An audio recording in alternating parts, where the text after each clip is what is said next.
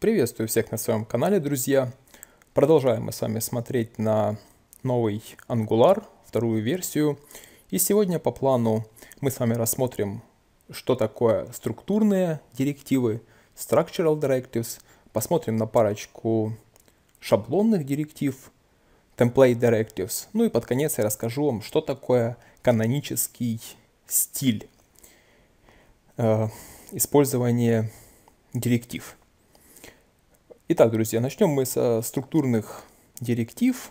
Уже одну из них мы уже использовали, это был ng4. Но давайте посмотрим, я создал быстренько маленький проектик.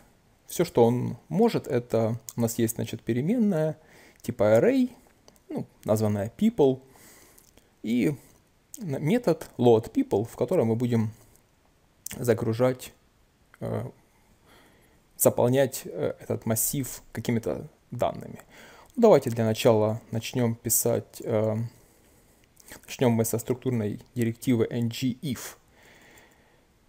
Э, давайте создадим div и напишем no people loaded.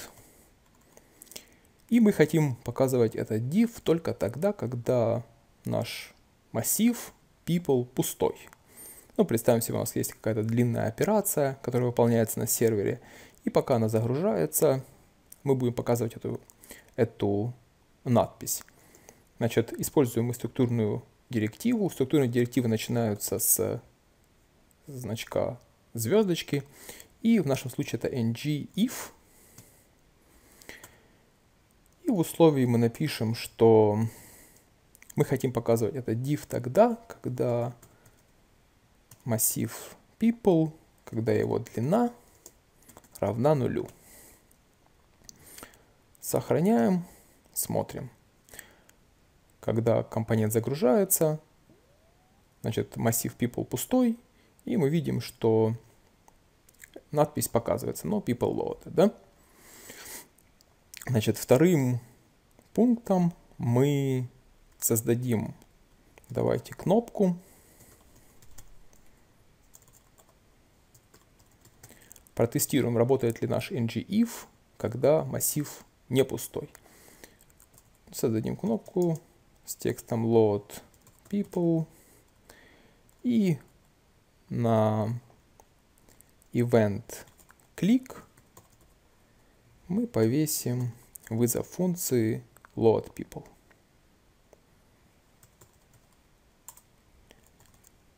Сохраняем, смотрим. Так, кнопка Load People. Нажимаем ее. Наша надпись исчезает, да? Массив становится не пустым. ngIf э, условия э, значит, э, срабатывает в false. И надпись исчезает. Исчезает не только надпись, но и весь div. Поэтому, друзья, эти Директивы называются структурными, потому что они позволяют менять структуру нашего дом документа. Второй структурной директивой, которую мы рассмотрим, будет небезызвестная нам ng4. Для этого мы создадим unordered list и в элементе списка, значит, мы используем структурную директиву ng4, у которой есть следующий синтакс. Значит, let person мы обзовем единичный элемент массива of и of people. Почему, друзья, такой странный, странный синтаксис? Э, значит, этот синтаксис был выбран template, э, был выбран э, командой, разрабатывающей TypeScript, потому что он один в один соответствует синтаксису нового JavaScript, ECMAScript, значит, 2015, да, или JavaScript 6, там точно такая же конструкция. Поэтому просто давайте запомним ее и будем использовать. То есть структурная, структурная директива ng4 позволяет нам проходиться по, по любому массиву. Мы уже видели, что э, можно также работать с асинхронными массивами, если использовать pipe async, но это не относится к сегодняшней теме. Поэтому давайте будем здесь выводить что-нибудь немудреное. Будем выводить person name is person age yes old. Да? То есть что, друзья, произойдет? Мы нажмем на кнопку, массив заполнится и должна сработать наша структурная директива ng4 и выдать нам список людей. Давайте посмотрим. Нажимаем, надпись исчезает, да, ngif срабатывает и выводится список. Что, друзья, еще интересно с этим ng4, то, что он позволяет создавать переменную еще одну или несколько и использовать так называемый exported э, значения. Одним из них, например, является значение индекс, которое позволяет использовать индекс этого элемента в массиве. Ну, как мы его можем использовать? Давайте, например, вот здесь где-нибудь будем выводить его индекс. Посмотрим. Заодно посмотрим, это zero-based индекс или нет. Нажмем. Да, видим, что zero-based. Видите, первое 0. Ну, некрасиво показывается, поэтому будем писать здесь i плюс 1. Да? И вот теперь мы можем использовать. Значит, кроме exported value index, также могут использоваться такие, знач... такие uh, exported переменные, как even, odd, то есть четное, нечетное. Ну, это мы можем использовать для того, чтобы подсвечивать четные и нечетные строки, э, например, в таблице, а также first и last. Да, для того, чтобы первую и последнюю элемент использовать. Так, это была у нас структурная директива ng4. Ну и последняя структурная директива, а их всего три во втором ангуляре, это ng switch. Известный вам по любому языку программирования switch. Давайте что-нибудь, давайте что-нибудь напишем. Еще один div создадим. И здесь напишем ng-switch. Интересно, что он начинается не со звездочки, а, а берется в квадратные кавычки. А, давайте, например, в нашем случае ng-switch будет, в принципе, выполнять ту же самую функцию, что и uh, ng-if. Давайте ng-switch. Точно так же мы будем, как ng-if, по, по длине И у каждого свеча в любом языке программирования есть так называемые кейсы, то есть значения. Вот они-то как раз и начинаются со звездочки ng switch case. Ну, то есть, например, если у нас значение нашего свеча будет равно нулю, давайте будем выводить uh, array is empty. Давайте второе напишем. Если он будет равен, ну, например, в нашем случае сколько у нас? 1, 2, 3, 4 элемента. Ну, давайте вот напишем 1, 2, 3, 4. Кейс, если он равен 4 пишем array s for uh, items, да? Также есть возможность использовать э, дефолтный, дефолтное значение. Если ни одно из кейсов не сработало, то есть э, вариант с ngs, ng switch default.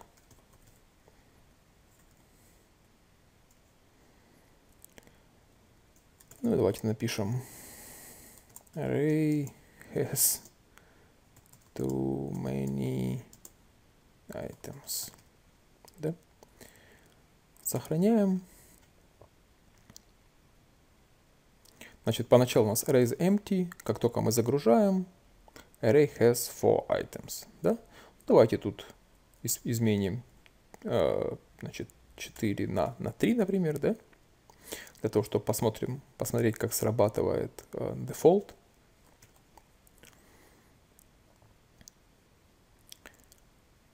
Смотрим. Array has too many items. Да? То есть все работает. Итак, друзья, во втором ангуларе есть три структурные директивы. ngIf, которая позволяет э, значит, скрывать или показывать какой-то элемент в зависимости от того, э, значит, expression, написанный э, для ngIf, он, он выполняется в в true или false. Значит, есть ng4, который позволяет э, проходить через массив, а также имеет некоторые важные переменные для массива, такие как индекс. И третий это ng-switch, который позволяет задавать какие-то какое-то э, значение и логические кейсы для этого значения. И на основе этого точно так же показывать или скрывать какой-то элемент. Конечно, вместо примитивного параграфа здесь может быть большой кусок, большой кусок кода, может быть целые компоненты новые открываться. А, поэтому эти, друзья, директивы названы структурные, потому что они позволяют менять структуру нашего документа. Значит, э, вторым пунктом программы сегодня у нас идут, я хотел показать вам еще несколько так называемых template directives, то есть э, шаблонных директив, да, если на русский переводить. Ну, давайте, например, вот э, будем экспериментировать на нашем баттоне. Первая из них это ng э, style.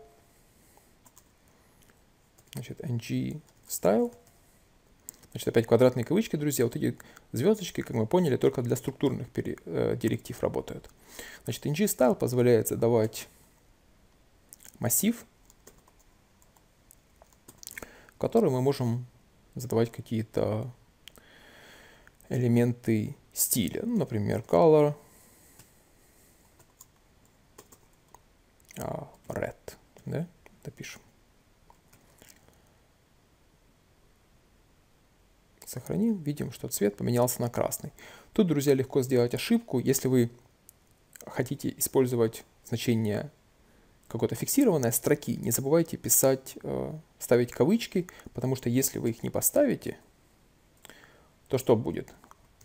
Angular будет думать, что вы, ищете, что вы используете какую-то переменную под названием red, которой у нас нет, да, поэтому ничего не меняется. То есть для того, чтобы использовать ее вот в таком виде, нам нужно объявить переменную типа строка и ей присвоить значение red, например. Значит, э, вторая возможность изменять стиль, это вместо того, чтобы писать, использовать директиву ng style, мы можем использовать property binding.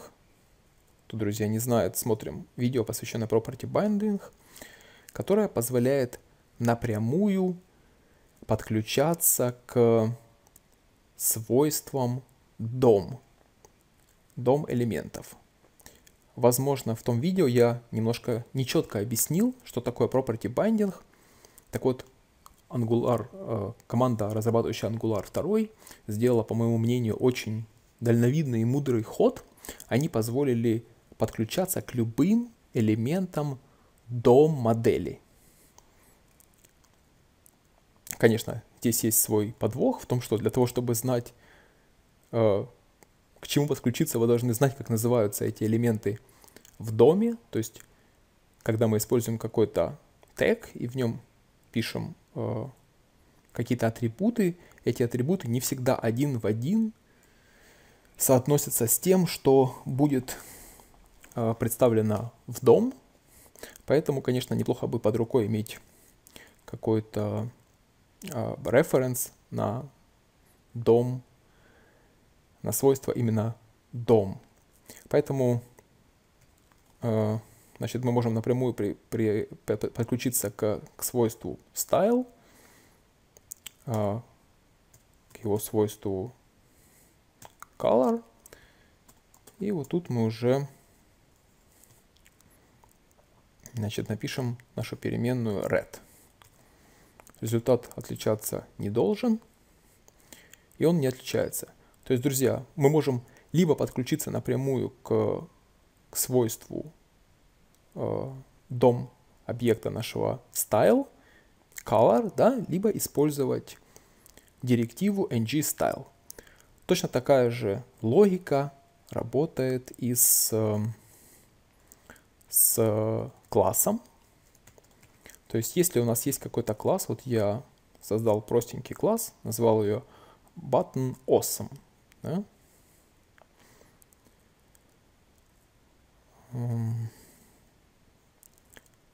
То есть я хочу сказать, что у меня мой класс button awesome будет срабатывать тогда, и вот здесь нужно задать логическую конструкцию, которая будет, понятно, э, выполняться в true или false, и которая будет определять, включится ли мой класс button awesome да или нет. То есть здесь давайте создадим какую-то переменную из awesome и будем э, дадим ей по умолчанию false, например, и вот в load people давайте будем давать ей true. Да? Сохраняем, смотрим. Видим, что по умолчанию класс не применился. Нажали на кнопку и класс применился. И как уже, друзья, наверное, догадались, вторая возможность это подключаться не к свойству дом класс, а использовать ng класс э, директиву, которая принимает э, параметр JSON объект позволяющий задавать классы. То есть мы можем задавать здесь через запятую большое количество классов и логические условия, когда эти классы применятся. То есть в нашем случае все должно работать так же, как и работало с property binding. Нажали, подключились. Ну вот так, друзья. Значит, три структурные переменные э, директивы вам показал, две template директивы ng-class, ng-style. Ну и последний, завершающая тема у нас будет канонический стиль. Значит, что такое, друзья, канонический стиль? Э, значит, мы уже, в принципе, с вами запомнили вот этот вот convention ангуларовский о том, что ивенты, события, да, у нас берутся в круглые скобки – Э, значит, директивы и property binding у нас берутся в квадратные скобки. Помните, еще третье у нас такой convention был о том, что если мы хотим создать локальный, а, э, локальную переменную, нужно было поставить значок sharp, например, вот так, да, и назвать, например, ее button, и теперь эта переменная будет представлять собой нашу кнопку, мы уже можем ее использовать но если вы терпеть не можете все вот эти вот э, кавычки, да, там круглые скобки, вы можете использовать канонический стайл. Канонический стайл — это когда, например, вместо клик ивента в, в круглых скобках мы можем использовать on и dash клик. Значит, так мы можем заменить все наши круглые скобки, все квадратные скобки мы можем заменить префиксом bind. Так, куда-то спрыгнула мой курсор. bind.